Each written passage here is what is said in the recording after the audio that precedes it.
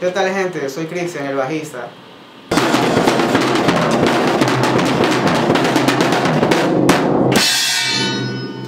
Mi nombre es Diego, soy el baterista.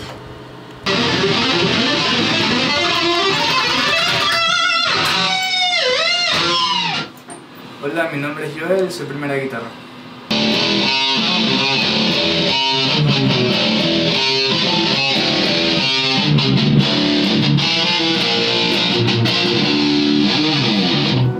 Soy Paul, segunda guitarra. Hola gente, soy Alexander, el vocalista Screamer. En el llanto de un verso hay una sensación de bien, porque camino soñando despierto. Hola, ¿qué tal gente? Mi nombre es Valeria y soy la vocalista. ¡Somos Oversight!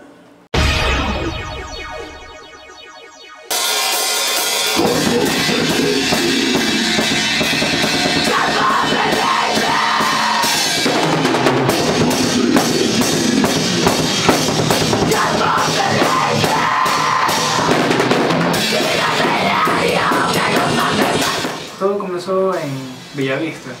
Nos juntamos, quisimos hacer algo, algo un poco más fuerte, fuera de lo, de lo, de lo común en ese tiempo, que ahorita ya hay más bandas así como nosotros. Decidimos formar este grupo, tratar de, de llevar este proyecto a algo un poco más serio y poder salir este, adelante y, y que la gente conozca más sobre algo que no se daba tanto aquí en Guayaquil.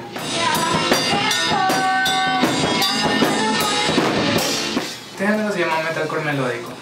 Metalcore por, la, por los guturales, por la fuerza que tiene en, la- en los riffs, en las melodías. Melódico es por, las por las voces, por las voces de, de, de Casa Valeria, los limpios, las armonizaciones que tenemos en lo que son este, los solos de guitarra. Entonces es una parte entendible. Metalcore en sí es algo fuerza, es fuerte, pero melódico da la parte suave también.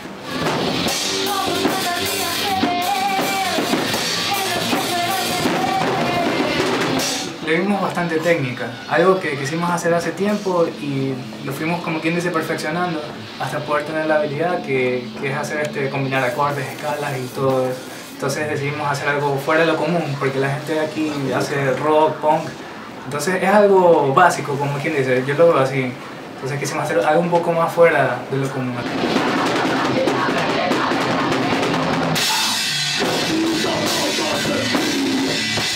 Desde que tengo 14 años. Y este, 14, 15 años, por ahí básicamente. Y bueno, de ahí he estado practicando hasta ahorita, entonces tengo varias técnicas para no quedarme sin voz y para no cansarme cuando estoy en el escenario.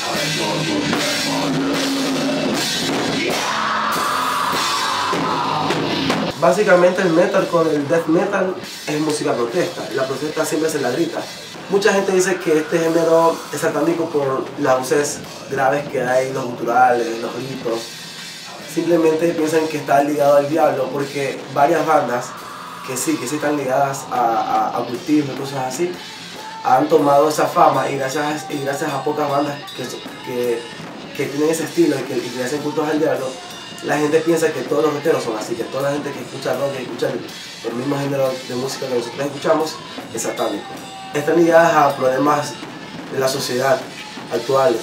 Y claro, en son de protesta se hace una voz cultural para, para expresar esa, esa desesperación ese su- sufrimiento que se lleva internamente. Dos años. Es porque en sí la banda ha sufrido ciertos cambios dentro de los integrantes. Entonces no tenemos, no podemos establecer un, un tiempo específico si se han dado estos cambios. Por eso es que podemos dar un aproximado de dos años.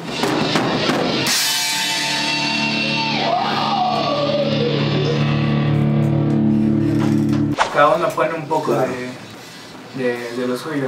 Quiero, quisiera que suene más así o quisiera que diga esto, entonces ahí nos tornamos y, y vamos uniendo y ahí se va formando la letra. Eh, entre Joel y yo componemos. Joel compuso las primeras canciones, yo, yo, yo he compuesto tres canciones para el CD. Yo, Y también Paul también sabe Paul. contar también algo. Algo aporto, pero él suena- Claro. o sea, tratamos de que sea, se perfeccione más o menos. Y eso es una Tuvimos una presentación en Montañita, un festival de, de bandas que participamos. Fue súper chévere porque ahí la acogida, la gente esperaba algo, algo típico, algo playero, pero vieron una Claro, propuesta algo, algo más fuerte, entonces llamó bastante la atención. Un ratito se, se replicó así y vinieron otras bandas de Quito también de- del mismo género y, y fue increíble eso, una experiencia súper chévere que esperamos estar de nuevo allá. De ahí estuvimos en el Malecón 2000, nos presentamos en la fiesta de la música, estuvimos allá, súper chévere, la acogida de la gente también. De ahí salimos en el diario Expreso, estuvimos ahí, en el, dimos una entrevista, fue, fue increíble porque no, no esperábamos algo así, que entonces nos, nos sorprendió y, y, no sé, nos quedamos, nos quedamos sin, sin palabras, fue increíble estar, estar ahí, dar este, nuestra propuesta y que de un rato al otro la gente vea en el periódico, wow, Oversight, están ahí, entonces se dieron a conocer, nos dimos a conocer un poco más. De salimos en el diario de Uruguay sobre personas que nos escribieron, oiga, nos encanta su propuesta, quisiéramos saber este, un poco más sobre ustedes, somos acá de Uruguay, ¿te gustaría tener una entrevista con nosotros? Entonces ahí aceptamos y dimos una entrevista y allá salimos, entonces la gente está conociéndonos un poco más.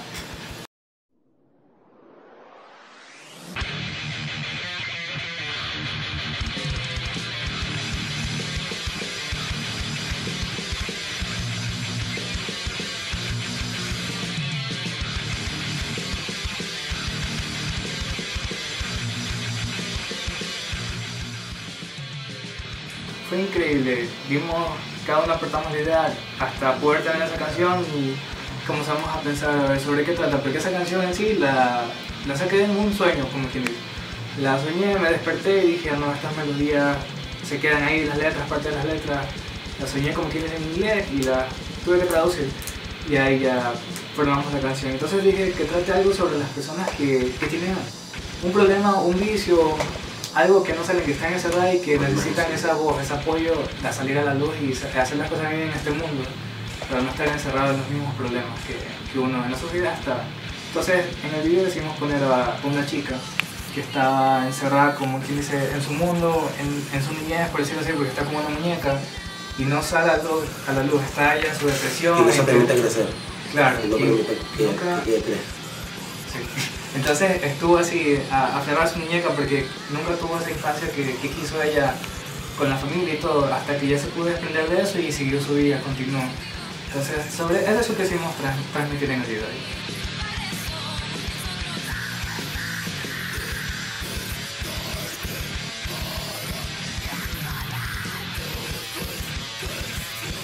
Lo edité yo, lo grabamos gracias a, a, a un amigo, entonces él era muerto. Entonces estuvimos ahí, él nos ayudó, hicimos todos nosotros, a- hacerlo más fácil, más rápido, porque contratar a alguien y estar así, entonces vamos la forma que lo podamos hacer entre nosotros, aprendimos un poco más cómo es esto, como yo estudio en un instituto donde me dan clases de, de audio, de, de edición de video, entonces ahí comencé, más o menos me hice la idea y comencé yo misma, me tomó un mes, más o menos un mes terminar el video, pero lo, lo logré. Planeado este, dar a, conocer a otros países que en Ecuador también existe una banda de, esta potencia, de este calibre, como hemos visto que dicen. El disco ya, ya estamos trabajando en ello, ya tenemos como algunos meses, ya sale en dos meses más y ya, ya lo tenemos. Ya vamos a dar en la página de la banda información de dónde vamos a hacer una presentación, porque tenemos pensado hacer una presentación para el lanzamiento del disco.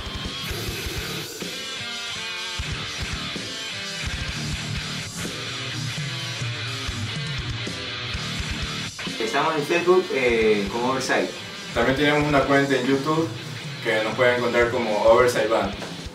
En MySpace nos pueden encontrar también como Oversight Band. Gente, estamos también en la red Twitter, estamos como su guion band. Chicos, este, bueno, después de haber escuchado todas las redes sociales, no olviden de visitarnos, ver nuestros videos, eh, lo que estamos proyectando para futuro, lo que hemos hecho. Si quieren conocer un poco más de la historia de Versailles, no se olviden de visualizarlas, comentar, sugerir, cualquier cosa, cualquier comentario es bien recibido. Muchísimas gracias.